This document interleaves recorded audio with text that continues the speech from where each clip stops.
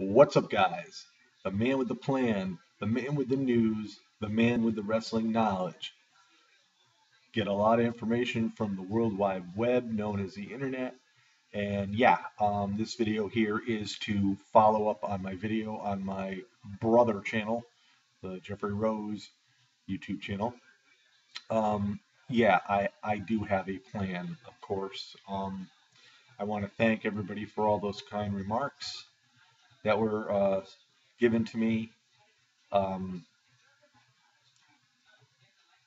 life can throw you curves every now and then, and you just have to learn to accept them. And uh, but sometimes that you, you you know those curves come at a time that you least expect them. So, with that being said, um, you know, I've gotten messages asking me if I'm quitting. No, I'm not quitting.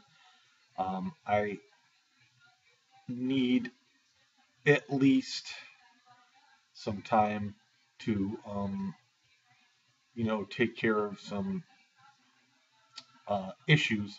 I'm waiting for some results to come back, uh, which um, will make all the difference in the world. Uh, in my eyes, um, my blood pressure is very, very high right now. Uh, my stress level is very, very high. I um, you know, I try to keep up with uh, two YouTube channels, uh, two Facebook pages, and also a third, which I've sort of like neglected a little bit, and I feel guilty for that. But you know, just so many things that you know you're trying to do, and you know, it, it comes a time where you know you start burning out a little bit and, and whatnot. But um, uh, I plan on going away for a few days, getting away from the hustle and the bustle of the the big city, and um, you know, trying to just get some relaxation and um, you know, and I'll you know I'll, I'll, pretty much know in a few days um, how things are going to develop. So you know, I, I, just need to get that blood pressure down and uh, you know go from there. But um, you know, I suppose things could be worse. You know. But anyway, um, you guys are great here on YouTube. Um, and um, it's, yeah, you know, I, I get lost for words sometimes, and that's really, for me, to be lost for words is really is something totally out of the ordinary. Um, am I going to quit? No, I don't quit. I'm not a quitter. I never have been a quitter. I'm a fighter and um, you know I'll continue to try to fight the battles that ensue me uh, in the future or whatever comes my way, you know. But uh, anyway, so with all that being said, again, I want to thank everybody for their kind remarks. Uh, Challenge Talks is is is a very good friend of mine, and he always has nothing but positive things to say, and I really appreciate that. I failed to mention his name in in the last video, and I, you know, I failed to mention many others, and I apologize for that uh, because I'd be here all day, and and uh, but anyway, um, so it's just going to be a short hiatus, hopefully. Um, you know, would maybe pop in a video here and there, uh, but I, I the the um, everyday stuff stuff really needs to slow down until you know, I I just find out what you know actually is really going on. So uh, I was reading an article to change the subject down to to wrestling. I was reading an article and you know, and um, it was uh, by Vince Russo. He was talking about being in the WWE, being in WCW and TNA, and you know how much hate he got. And you know, the article really was a pretty good article. And you know, he was stating, he said, "You don't know how tough it is really to be a writer uh, for three promotions that really were unique in their own ways. Um, but um, he said, and it makes a lot of sense too. If something's not going right within a show where viewers are down or and ratings are down, you can change the script just like that the following week he, like he was basically saying, most of the issues are outside of the ring. Um, and he was mainly talking about TNA and he was talking about their financial issues, and he goes, "That's what's really slapping them in the side of the face," and uh, that is why we've seen a lot of um, superstars, you know, not re-signed or let go by Dixie Carter. Uh, and you know, I agree with what he's saying. I mean, you know, you can change a storyline in a heartbeat from one week to the next. Uh, but it was an interesting article by Vince Russo.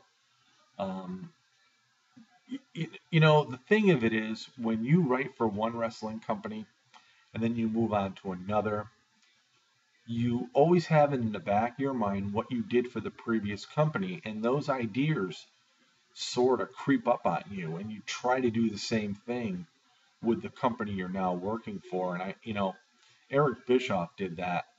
Uh, Eric Bischoff had a great concept in WCW when he took over, um, when you know the NWO was formed, and uh,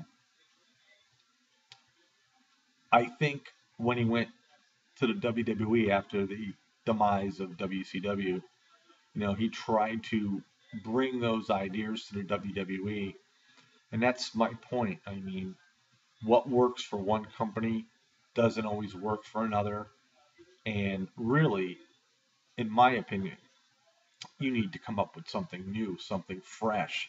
Uh, but, you know, by bringing back something that may have worked and then it, it eventually ran its course, why would you think it would work in another promotion? So, uh, yeah, Vince Russo had some good stuff. I, you know, I'm not the biggest fan of Vince Russo, but I'm not a Vince Russo hater either, uh, because I know what he did for the wrestling companies that he worked for, and you know, he did what he could to try to, um, you know, increase their value, increase their viewership, you know, increase their ratings and try to make him more money, which obviously would benefit him as well. So, um, but uh, yeah, so we got three weeks in a row of really good stuff coming on. Um, next week we'll have Slammiversary on the 15th, and um, then I believe it's the 22nd. We have the Ring of Honor uh, pay per view and then the following week we'll have um, Money in the Bank. So three Sundays in a row, uh, pretty cool.